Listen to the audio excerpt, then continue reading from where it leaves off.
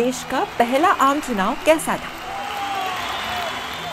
भारत को आज़ादी मिली साल उन्नीस में, लेकिन पहले आम चुनाव हुए साल उन्नीस सौ बावन में। इस चुनाव पर दुनिया भर की नज़रें टिकी थी। सभी के मन में ये सवाल थे कि अभी अभी आज़ाद हुए इतने बड़े लोकतांत्रिक देश में सफलतापूर्वक चुनाव कैसे कराए जाएँगे? लेकिन सभी आशंकाओं को झुठलाते हुए भारत ने न केवल चुनावों का सफल आयोजन किया, बल्कि कई ऐतिहासिक कदम भी उठाए। मार्च 1950 में सुकुमार सेन को देश का पहला मुख्य चुनाव आयुक्त नियुक्त किया गया था। दो साल बाद उन्नीस सौ बावन में एक साथ राज्यों के विधानसभा और लोकसभा चुनाव करवाए गए। इसकी ज़िम्मेदारी संभाली सुकुमार सेन ने। भारत ने यूनिवर्सल अडल्ट फ्रेंचाइज यानी वयस्क मताधिकार के आधार पर आम चुनाव कराने का फैसला किया।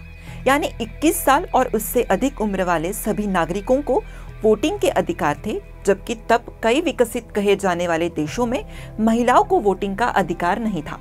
सन उन्नीस सौ बावन के चुनाव में यूँ तो सभी पार्टियाँ जनसभाओं के ज़रिए और घर घर जाकर चुनाव प्रचार कर रही थी, लेकिन कम्युनिस्ट पार्टी अकेली पार्टी थी।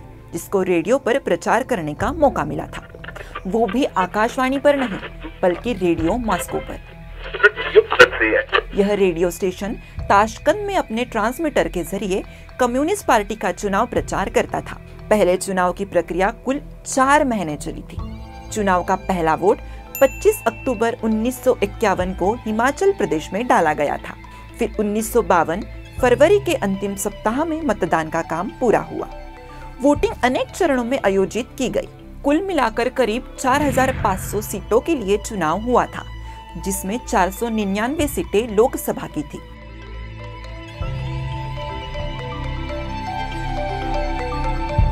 आम चुनाव में करीब 17 करोड़ लोगों ने भाग लिया था जिसमें पचासी फ़ीसदी लोग लिख पढ़ नहीं सकते थे।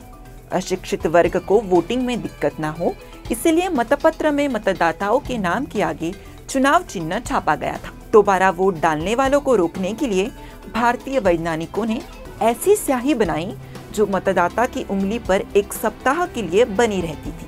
पूरे देश में व्यापक अशिक्षा के बावजूद करीब 45.7 फ़ीसदी मतदाताओं ने अपने मताधिकार का इस्तेमाल किया था। चुनाव में भाग लेने वाली मुख्य पार्टियों में कांग्रेस, सोशलिस्ट पार्टी, भारतीय जनसंघ और कम्युनिस्ट पार्टी शामिल थी।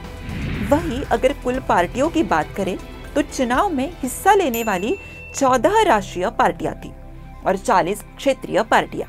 कांग्रेस की तरफ़ से प्रमुख प्रचारों में जवाहरलाल नेहरू थे और लाल बहादुर शास्त्री थे।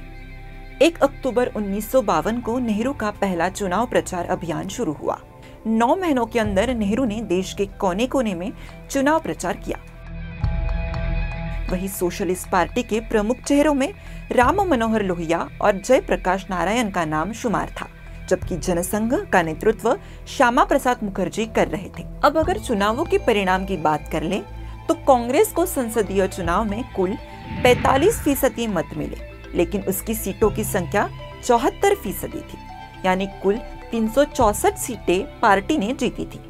भारतीय कम्युनिस्ट पार्टी को कुल 16 सीटें मिली, जिसमें से 8 सीटें उसने मद्रास से जीती। भारतीय जनसंघ ने उनचास सीटों पर चुनाव लड़ा, जिसमें तीन सीटों पर उसे विजय मिली। पार्टी के अध्यक्ष श्यामा प्रसाद मुखर्जी कलकत्ता दक्षिण पूर्व से चुनाव जीतकर लोकसभा में पहुँचे। किसान मजदूर प्रजा पार्टी ने एक सीटों में चुनाव लड़ा, लेकिन उसके सिर्फ़ नौ उम्मीदवार ही लोकसभा में पहुँच सके। जयप्रकाश नारायण और राम मनोहर लोहिया की सोशलिस्ट पार्टी ने दो सीटों पर चुनाव लड़ा, जिसमें सिर्फ़ 12 सीटों पर उन्हें जीत मिली। देश के पहले ही आम चुनाव में कई दिग्गजों को हार का मुँह भी देखना पड़ा, जैसे कि देश के पहले कानून मंत्री डॉक्टर भीमराव अंबेडकर और किसान मजदूर प्रजा पार्टी के कद्दावर नेता आचार्य कृपलानी। चुनाव के बाद जवाहरलाल नेहरू के नेतृत्व में कांग्रेस की प्रचंड बहुमत वाली सरकार बनी और वो देश के पहले निर्वाचित प्रधानमंत्री बने।